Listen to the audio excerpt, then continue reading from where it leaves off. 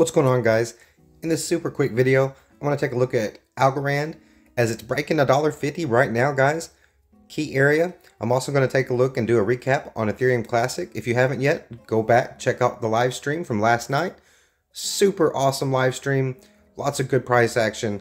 Lots of great people in the chat. Definitely go check that live stream out, man. We covered ETH Classic throughout that live stream.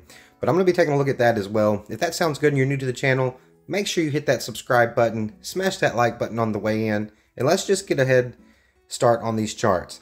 All right, so I got the Algorand hourly chart here pulled up, and you can see here we're breaking resistance, right? We're breaking resistance. We blasted through 150. We've now came up and um, went above a dollar 55 for Algorand, guys, all the way from down here near a dollar 25. Okay, so that is a massive beautiful run up, and that is exactly what we've been needing and what we've been waiting for.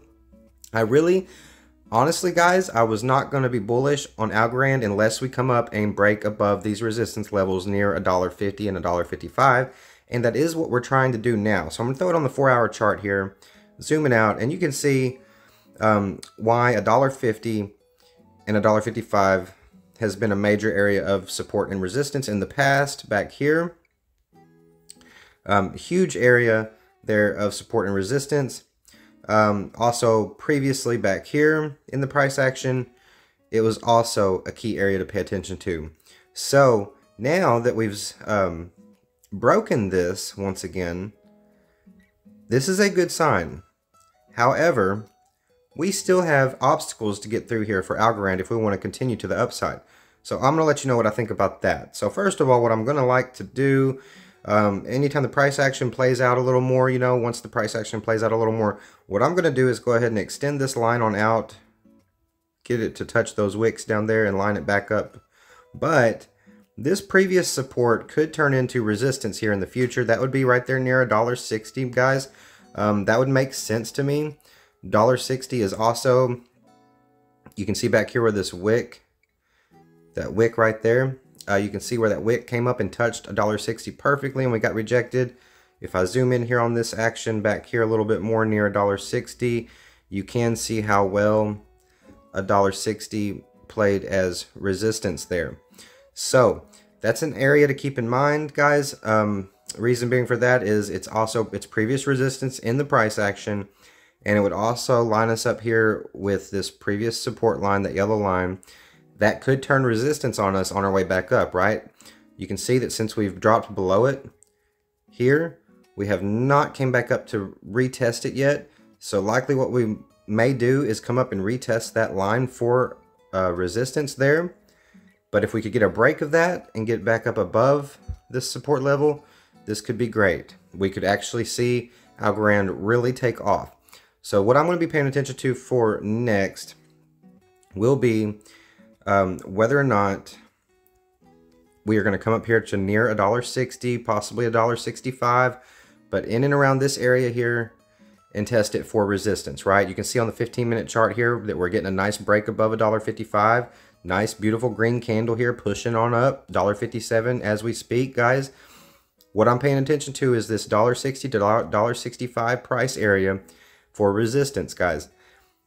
Algorand has been really taking it easy, so Hopefully we've got enough momentum here through this break of $1.55 that this will not be a significant area of resistance, at least not significant enough to push us back down, right?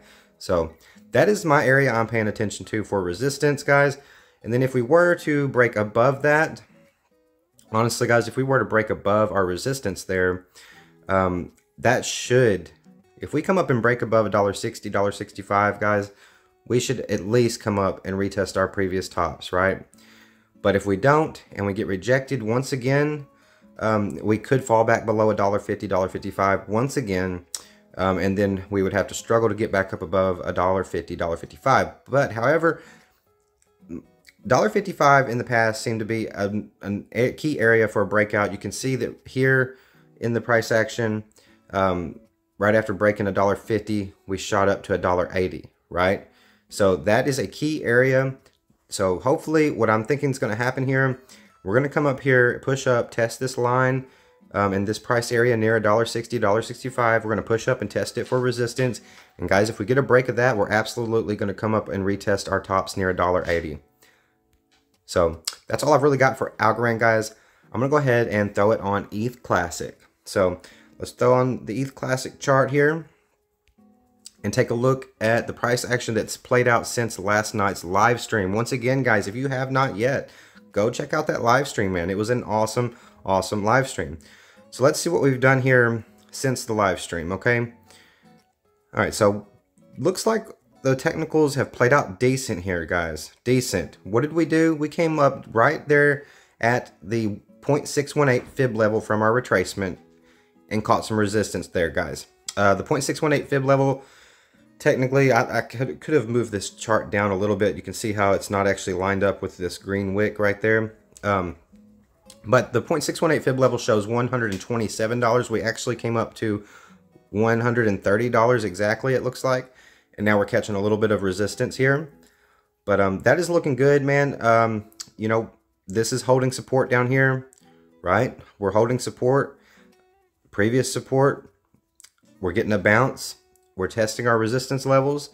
Um, getting pushed down pretty hard there by that 0.618 fib uh, level from our retracement. So uh, we'll have to see, but man, that's a nice, nice uh, wick down there on the hourly chart here. We're trying to get a push back up, so we'll see if she holds because this candle's about to close in 50 seconds, guys. So um, basically, man, this analysis has played out perfectly. Um, from our retracement here, what we want to see happen for Ethereum Classic, if you guys really want this thing to continue to run, we're going to have to come up and we're going to have to get up above 140. And we're going to have to retest 150.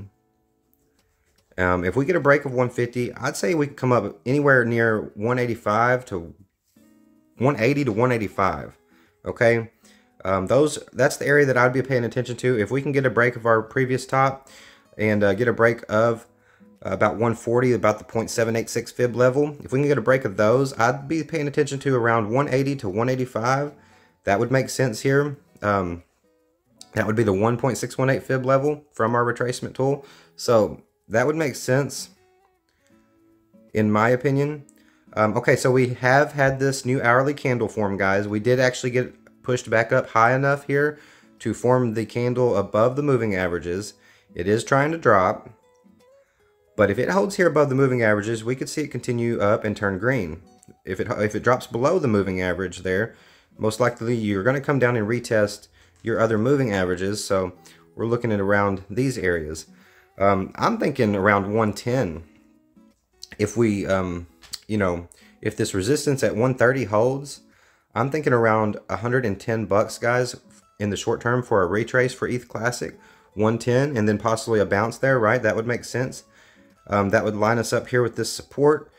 Um, you know, it's possible if I just draw that in there, you can tell, like, look, we could come down, get a nice bounce, right?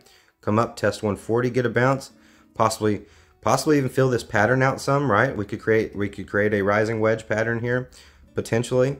Um, we could even come up, you know, and get resistance here at the top of it and kind of just fill it out more and then have a break, right? That is also likely. That that typically happens. So what we're gonna have to do is just wait and see how this plays out. Keep an eye on these fib levels, man. Keep a lot, keep an eye on these price targets that I've been paying attention to for resistance. I did mention um, 130 in the live stream as resistance to as an area to pay attention to, guys. I did mention that in the live stream. So also, guys, join the free Discord, man. Link in the description, link in the chat. Make sure you guys join the Discord. Great community. Um, I believe we have over 100 people in the Discord now. So it would be awesome to get all you guys to come over and join the free Discord, man. Um, beautiful, beautiful people. Love you guys so much.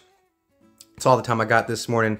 Keep an eye on the charts, man, but don't look too much. Don't stare too much. Don't drive yourself crazy. Get out there today. It's a beautiful day out. Have a great day, and I'll see you guys in my next update.